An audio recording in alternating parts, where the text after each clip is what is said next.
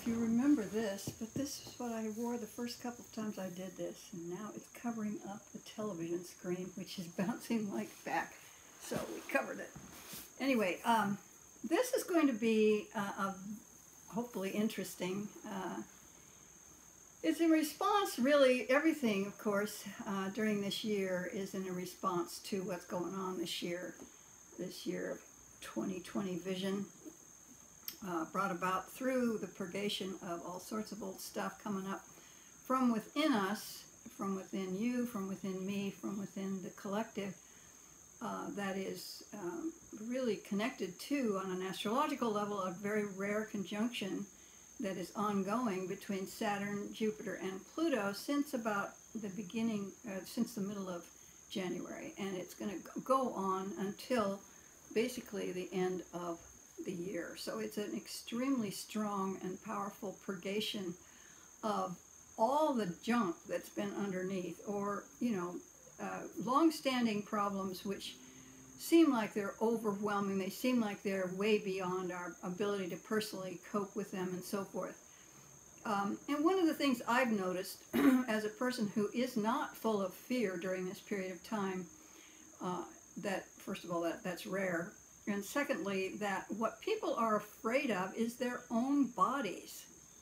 And that kind of blew me away when I started to realize that. Yes, they're afraid of death, and they're afraid of their own bodies. Those are the two things, and they're connected, of course. Afraid their bodies are going to die. They're afraid of their own bodies, but then I, they must identify with their bodies, or they wouldn't be afraid they're going to die. So it's all very contradictory. But in any case, um, that's the bigger context. Uh, another context that's slightly more personal is, uh, I'd say probably six months ago, I asked all my brothers and sisters, of whom six are still living, I had seven before, so there were eight of us all together, if they wanted to let the rest of us know what was going on with their own bodies. I'm the oldest, I'm almost 78 now, I'll be 78 in December, uh, but they, they range back 16 years, so that's like 62 would be the youngest, and so everybody is certainly dealing with aging issues, no doubt.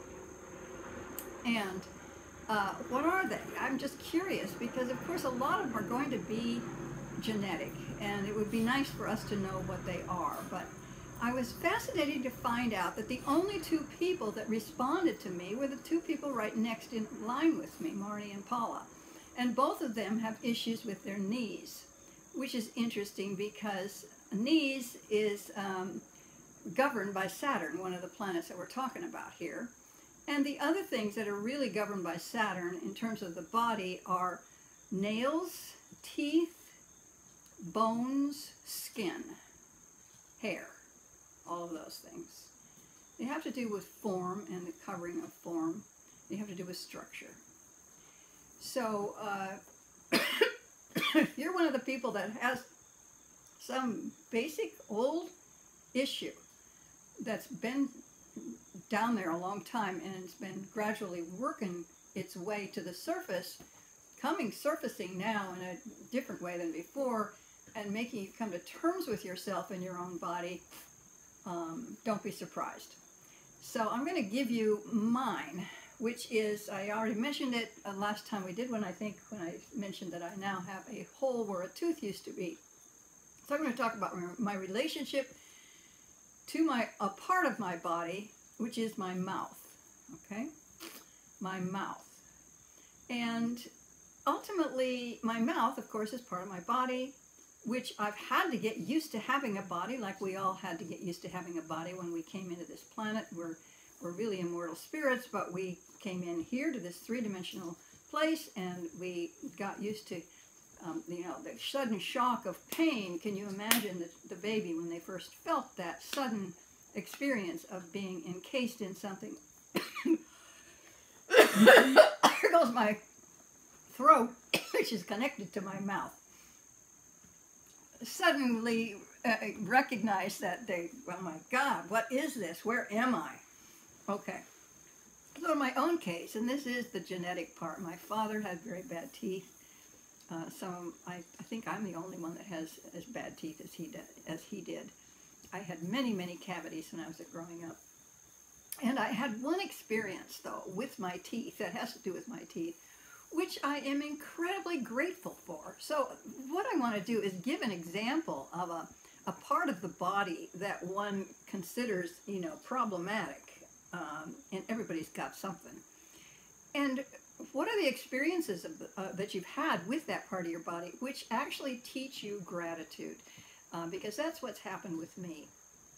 Okay, so I had big teeth in a small mouth, so my my front teeth started to protrude. I became, you know, a buck-toothed kid, which was, you know, kind of embarrassing. I was a little young to be that embarrassed yet, but I was somewhat. I mean, I noticed people call me that and my parents actually, um, you know, we were lucky that they could send me to an orthodontist, which was a rare thing back then. Uh, we were lived in Twin Falls, Idaho, and I had to go two and a half hours away by bus to go to the orthodontist, to go to Boise, because it was the bigger town. And the first time I went, of course, they had a, an older, uh, you know, a 12 year old accompany me or a 15 year old accompany me. I was nine years old. But the next time I went, I convinced them to let me travel alone. And so, as a nine year old, they actually let me do this. I don't know if anybody would let any kid do this now, given what's the strangeness that's going on uh, during this time with stealing children and trafficking children and so on. But back then, that wasn't even a consideration. It was more like, would she get lost? Could she do this on her own? She's only nine years old. She'd have an appointment as soon as she got there, but then she'd have four hours before she came home. What would she do with her time? Well, I'll tell you, that was that experience that I would have every month or every two weeks, depending how long it would be, before I had to have my braces adjusted again. And that went on for a couple of years was really wonderful because for the very first time in my life, I got to experience freedom and independence and I got to explore a world that I didn't know about, that nobody even knew I was there, but I was very full of myself doing it. What I would do would be walk around that beautiful leafy, leafy old city, and I'd keep the Owyhee Hotel, which is tall at that point, in my sights. The, the sign for the Owyhee Hotel was very tall. And so that way I'd know where I was, I'd know how to get back to the Owyhee Hotel, and from there where the bus station was. And it was something that just, uh, I've never forgotten it because that taste of freedom, that taste of independence for a, for a Sagittarian person who, uh, when she was small, when I was small, I was conditioned like all of us are, but to be a very fearful child. And that had to do with my relationship to the bomb. I think I've mentioned that before. Uh, but in any case, this was like a rare respite that I had. So I can thank my, the, my badly constructed jaw and teeth for my first taste of freedom, and I will never forget that. Okay, fast forward now until I was in my late 30s. now I had a situation in my in my late 40s or my late 30s where I think I've talked about this, the bad man. We talked about the bad man, my, my experience with the bad man, which, not surprisingly, had a phys- it produced something physical because it was an experience that was mental and emotional and spiritual, which produced something physical. And that is what happens that the body absorbs what the mind what the mind thinks. The body absorbs what the, what the emotions feel. The body absorbs what the spirit's direction is and reflect and will create something that is not um, in the natural order. So it'll create a, something difficult. Uh, so you'll leave a, so leave a trace of a difficult experience in the body itself. And um, that was what happened was during that time I felt so shut down by him that I, I was clenching my jaw so that I couldn't speak. I, I couldn't get my truth out. I couldn't say what was on my mind. I couldn't speak up. I was afraid. And that went on for a long time till I finally broke the spell. But afterwards, a couple months later, I started to experience this terrible um, I now know what it was. It was an exudate, uh, kind of a uh, an infection that uh, some kind of fluid that was coming down through the jaw and coming up through this gum line uh, by this front tooth, the one that's out now.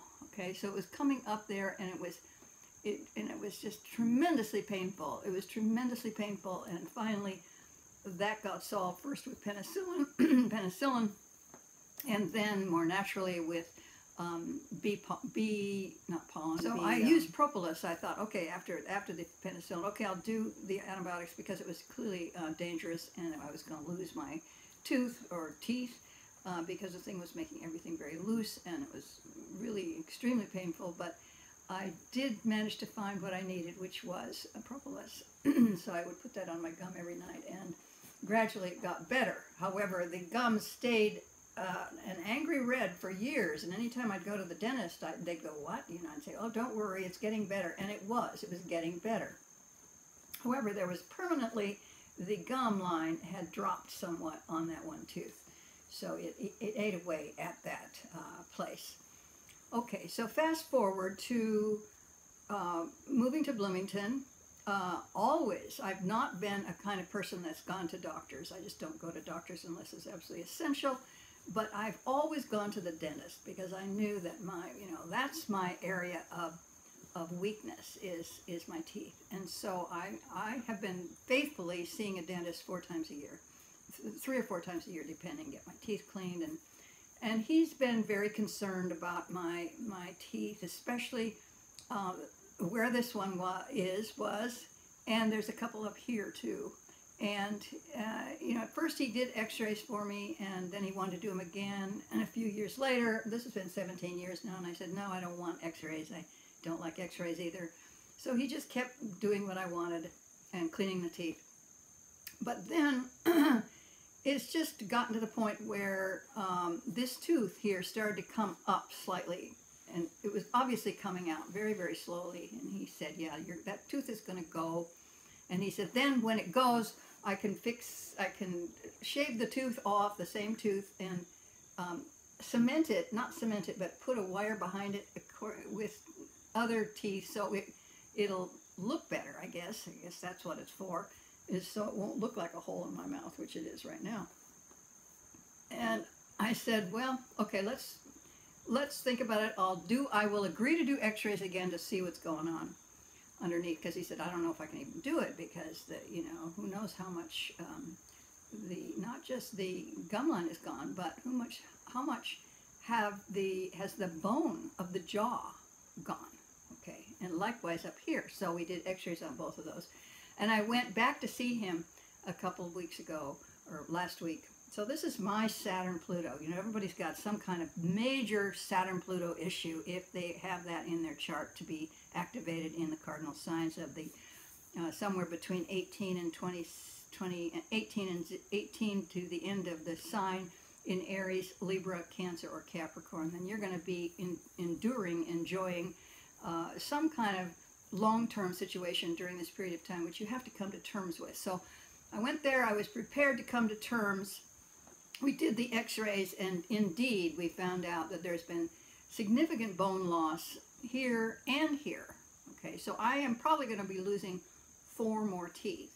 He'll be able to, to put this one back in there to some extent, but, um, you know, I mean, it, who knows how long it'll last before those teeth start to, to leave. So I am seriously going to look like a meth head at some point, and that's very interesting. So this is the next thing that's important. That so the first thing is the gratitude I felt for the freedom and the independence I got from having to go to the orthodontist.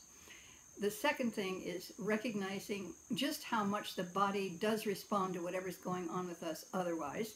That the body is a reflection of what, what our choices are, basically. And the body is going to just constantly hold that something for our memory so that we won't forget. And then the third thing is this right now which is going to be going on for the rest of my life.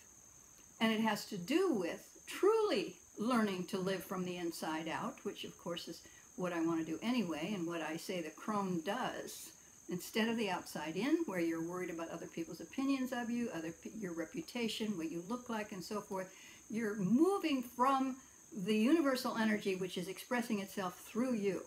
And so, truly, this is uh, the job of a person as they get older, to be able to do that no matter what, no matter what goes on with the body, because the body really is, you know, it's a temporary. It's starting already to effervesce, you might say. This is what I call it the effervescence of the body. And um, it's just, it's a long term process. I don't know how long it'll take, but um, will I still be speaking? I don't know. Will I be too vain to, to open my mouth? I hope not. And it's kind of interesting because in the um, there's one symbol system in astrology where the the planets, you know, you with the symbol systems you say okay, each planet has a certain degree, each degree has a certain symbol attached to it, and the symbol attached to my moon, which is the part of your it's a part of you that has to do with the subconscious, has to do with memories, has to do with your childhood, has to do with your your you know what's underneath that that you're not conscious of normally, but it's it's affects you all the time. Um, the symbol for my moon is in this system is the man with no mouth.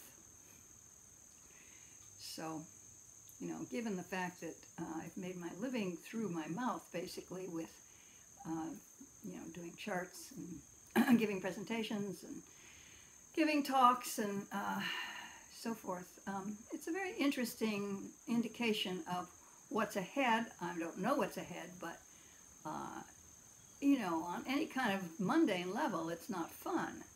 Uh, but on the other hand, um, I do already feel a sense of gratitude for the kind of lessons that that my mouth is actually teaching me.